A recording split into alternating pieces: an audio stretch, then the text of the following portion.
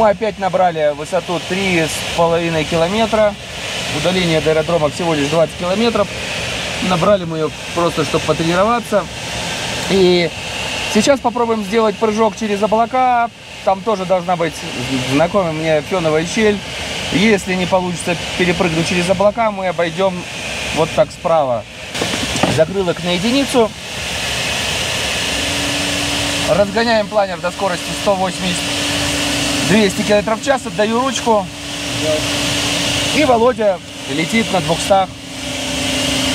Соответственно, разменивает топливо высоты на скорость. Время 8 часов 20 минут. Мы отлетали уже 3 часа летного времени. Очень интересно. И мы будем сейчас завершать полет, э, потому что нужно делать следующий.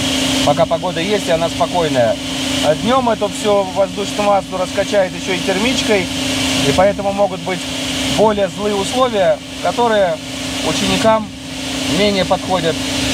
Поэтому вот этот наш подъем э, в 5 часов утра и вылет в 5.20, э, 5.40, он способствует более качественному процессу впитывания знаний.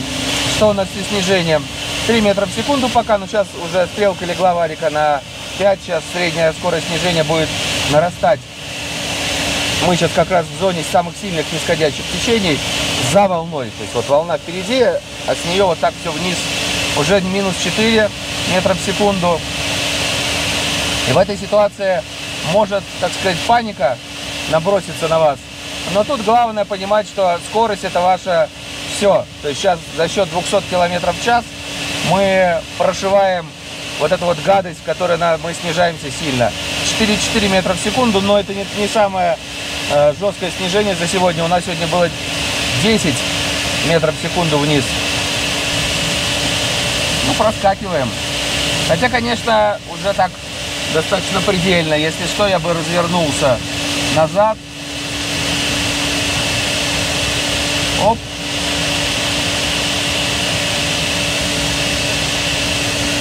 Тут важно понимать, что я эту местность знаю, я знаю расположение этих щелей, которые, какая идет после какой, где впереди следующая волна. Поэтому вы не думайте, что я такой смелый пилот. Я пилот просто, который это делал много раз на большей высоте. А сейчас высоту я использую минимальную, чтобы это выглядело красиво. Как говорится, работает для видео, для глубоко уважаемых любителей летных видов спорта. Все, мы пересекли эту горную, горную облачную гряду. Впереди следующая волновая система и следующая феновая щель. Эй! Красиво? Ну и больше всего мне нравится то, что я угадал. Ну не угадал, а знал. Можно сейчас собственная гала вот так вот. Смотрите, впереди зажглось гала. Она немножко вниз под нас уходит. 200 км в час. Можно на так вот раз. И похулиганить. Нравится?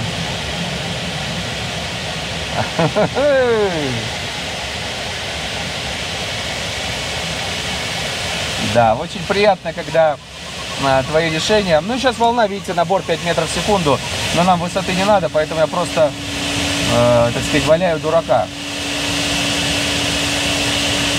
Сейчас сброшу скорость и пойду вот так. Видите, как солнышко закрываю в облаке. Оп! Видите?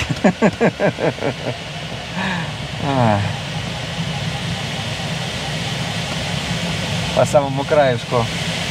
Так, надо отвернуть немножко, чтобы в облако все-таки не залезть. Сейчас можно схватить легко обледенение. Кстати, схватили. Посмотри на крыло, видишь? Сейчас я... Вижу капельки. Да, вот оно, друзья, обледенение. Здесь на этом крыле видно. Давайте посмотрим на этом. На каком будет лучше видно. Нет, здесь вообще... Ну, сейчас видно, может быть. Отсвечит. Видите, на самой кромочке тюк и лед. Это значит, что здесь на высоте уже... Э три с половиной километра у нас присутствует немножко, ну не три с половиной, две восемьсот у нас сейчас. Присутствует возможность поймать лед. Давайте поймаем побольше, что ли. Так я иду на посадку, мне это обледенение не страшно. Я вам покажу, как быстро лед нарастает. Сейчас несколько раз пройдемся Вот так вот по самому краешку. И вы видите, как быстро я насобираю льда на крыло. Ну-ка. Вот сейчас вот это все конденсируется стремительно на нашем крыле. Но я иду по краешку, чтобы не заиграться и в облако не влезть. Оп. Льда стало больше. Да, смотрите, даже вода бежит. На самом деле здесь уже даже не лед, а вода. А знаете почему? Знаете почему? Потому что, наверное, мы опустились ниже. Да, друзья, не порадую я вас обледенением, к сожалению. Но хоть немножко показал. А, мы опустились сверху, была высота больше, крыло было холодное. Возможно, поэтому лед и образовался. Сейчас, видите, не образуется. Проносимся перед еще одним облачком. Прыгаем, перепрыгиваем. И сейчас я, наверное, буду смотреть, как мне лучше зайти на аэродром. Аэродром прямо по курсу, до него 8 километров. Справа у нас как раз та, та возможность была справа обойти всю эту облачную систему. Если бы я шел правее, мне пришлось бы даже с облаками вот так играться. Но тогда бы не было бы так красиво. Я специально не ухожу туда, иду по краешку. Вот мы можем тень свою погонять по облаку, как красиво, видите? Ух! Да, около аэродрома, конечно, облаков намного больше. Я сейчас посмотрю место, где я буду в следующем вылете набирать высоту. Может быть, отсниму ролик, как после разведки быстро забраться в волну. То есть сейчас мы делаем разведку для будущего полета. Аэродром сейчас на траверзе, 7 километров, он справа по 90 градусов. Вот, а здесь достаточно характерное место, где у нас, где нам удобно взять волну. Место хорошее. Смотрим, есть ли волна. Перед, перед этим облаком она должна быть. Проверяем. Волна есть. Сейчас только, наверное, чуть впереди будет посильнее. Хотя нет, всего лишь ноль. Волны здесь сильно нету. Обыдно, досадно. А наш аэродром вот справа. На нем солнышко светит, но опять же облак, облачная гряда. Вот теперь как мне? Или высоту сбросить, нырнуть под гряду, или попробовать гряду справа обойти. Но не буду нырять. Давайте попробуем сходить направо. Обойдем. Заодно немножко дольше вам всю эту красоту поснимаю. Я сам в этом облачном лабиринте, друзья, сегодня впервые ну вот в такой примерно ситуации. Ситуация каждый раз, ну вот сейчас есть какие-то нули на вариометре, но мне не нравится вот это место под волну. Я думаю, что мы будем ее искать в другом месте. Я сейчас ныряю в долину, э, в долину реки Дюранс ухожу, чтобы домой прийти, не ныряя под облачную плиту. Попробую так сделать. То есть я вам сейчас за один раз показываю несколько вариантов как можно было так слетать, как можно было сяк слетать. Чаще всего вот этой облачности сплошной, ну, массированной, у нашей долине нету. Потому что все успевает растаять на подходе с Гренобля. Но сегодня, видите, воды немножко больше. Мистраль такого типа называют, э, говорят, что это черный мистраль. Вот с таким еще. Ха-ха-ха! Черный мистраль в одном черном-черном городе одним черным-черным месяцем дул черный-черный мистраль. Вот. А черный он потому, что облака темные, а с них часто идет дождь, и получается очень сильный ветер. Ну, кстати, ветер сейчас 73 км в час, вот прибор показывает. Сильный ветер в этой местности, мистраль, а, чаще всего дует в зимнее время, и он достаточно заунывный. То есть это вот хлопают ставни, он всем воют. И официально замечено, что возрастает количество самоубийств. Э, по слухам, когда вот в долине Роны, из которой мы начинали этот ролик, там ветер сильнее, потому что получается вот справа у нас Альпы, а вот крыло левое показывает на долину Роны, и там за ней массив Централь, получается труба, в которой со свистом значит, дует этот ветер Мистраль. И в долине Рона он сильнее процентов на 30. И если у нас сейчас дует 70 км в час, то в долине Роны со свистом дует километров 110-120. и может отрывать ослам уши. Это такая поговорочка есть. С правой стороны гора Сен-Жени, и вот э, правое полукрыло показывает на вот смешные такие облака, которые, может быть, вам ни о чем не говорят. Но это место, где мы как раз взяли утром волну в районе 6 утра, э, там, где мы выбрались. То есть вот кажется, что ни о чем, какие-то пушистики небольшие, а они демаскируют волну. А волну же вызывает, я уже много раз вам говорил, парфеновую щель, еще раз повторю. Вот гора называется Ажур, гора, с горы Ажур воздух вот так пяу вниз, потом пяу вверх, и вот это вот место, где он поднимается, где мы взяли волну. Все, между тем у нас э, впереди облако, наш аэродром. Выпускаю воздушные тормоза. Хорошо, что они не примерзли. Э, переставляю закрылок, делаю скорость 140. Сейчас буду достаточно быстро опускаться вниз. Выпускаю шасси, чтобы увеличить сопротивление. 6 закрылок, тормоз. Все конфигурация, в которой я снижаюсь максимально эффективно. А, может быть, шасси не стоило, потому что сейчас створки наружу. Если я буду как-нибудь скользить неправильно, что-то не так делать, то тем самым я могу повредить себе створки шасси. Но здесь я лучше выпущу шасси заранее и уже не забуду, потому что снимать одновременно и заходить на посадку в достаточно сложных метеоусловиях это не совсем правильно. Спасибо Виктору за крепление камеры на лоб. По крайней мере, у меня руки свободные, я могу полностью замечательно снимать посадку.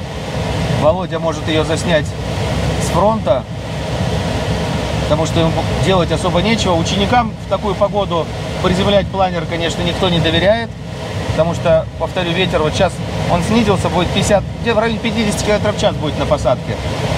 Ну, это сколько там, 15 метров в секунду. Сейчас все увидите. Так планер снижается достаточно энергично. Минус 8 у нас метров в секунду снижения. Скорость я держу 140. А почему 140? Потому что нагрузка на интерцепторы умеренная. И э, створки шасси не пострадают. Планеристы наши, немецкие друзья, почему-то пока не летят. Они вообще не любят с утра в волну летать. Вот смотрите, на аэродроме все планера на парковочке. Абсолютно все на парковочке. На горе Апотер идет дождь. Вот гора Апотер. За ней выпадают осадки. То есть вот то, что черный мистраль чем характерен, еще осадками. Не только темно, но еще дождь идет. И повторю уже никакой не знаю раз, что обычно все эти осадки выпадают там дальше, на куче перевалов, которые за Греноблем. И у нас сухо и солнечно. Но сегодня не тот случай. У нас сухо, хотя вот смотрите, в городке, где я живу, солнечно, а на аэродроме даже не сухо. Я вижу, что периодически, видимо, подливает его дождиком. Смотрим на колдун. Колдун показывает ветер четко по полосе. Это хорошо, потому что может будет красиво приземлиться. Я постараюсь покороче приземлиться, чтобы меньше толкать планер заодно показать э, своему ученику посадку севера, которую пока делать нельзя, но он когда-нибудь научится. Serres La Bâtie, India, Victor, downwind, landing North. Погнали! Турбулентность умеренная, поэтому я э, скорость использую 130 км в час на заходе. А, э, здесь я иногда использую 130, иногда э, 140, иногда 150 совсем в страшных условиях 150. Чем больше скорость на посадке, тем легче контролируется планер, тем меньше шансов накосячить, э, но в то же время, чем дальше ты едешь. Некоторые считают, что дальше едешь, это не столь важно. Это не столь важно, но не всегда же у нас площадкой будет являться такой огромный аэродром, как сейчас. Иногда же это все поменьше. Оп. Чуть подзакрыл тормоза. 130. Прохожу деревья и полностью тормоза выпускаю. На оси, на полосу садиться не буду, потому что шасси берегу. Травка мягче и на ней меньше шасси изнашивается. Оп. коснулись. И вот теперь можно выехать на асфальт, потому что по асфальту будет легче планер толкать в обратную сторону. Экономлю колодки, соответственно, не использую тормоза гидравлические. Здесь у нас холмик. Как раз вот в конце асфальта становимся. Это, наверное, лучшая моя посадка, которую я когда-либо здесь выполнял. Очень красиво получилось. Действительно технично. Приземлялся еще и короче, но в этот раз, видите, как все. Фонарь не открывать. Ждать меня. Почему нельзя открывать фонарь? Потому что ветер, несмотря на то, что тихо так внутри у нас, снаружи, вы можете по облакам посмотреть, как впадет ветер по колдуну. А, и, и если не согласованно открыть фонарь, то его может там прихлопнуть, боковым ударом сорвать. А фонарь штука дорогая. Вот такие фонарики по 3000 евро каждый, поэтому нужно их беречь и относиться аккуратно. А по вот деревья сейчас нам показывают, что ветер достаточно сильный. Ну, это очевидно. если дует, если облака несутся на высоте облаков, это 70 км в час, а где-то тут в приземном слое чуть меньше за счет трения воздуха о землю градиента, но все равно много. О, вот такой был долет с атомной электростанции. Я надеюсь, э, вам понравился этот ролик. Э, комментируйте, пишите, задавайте вопросы. И всего вам доброго, глубоко уважаемые любители летных видов спорта. До новых позитивных роликов.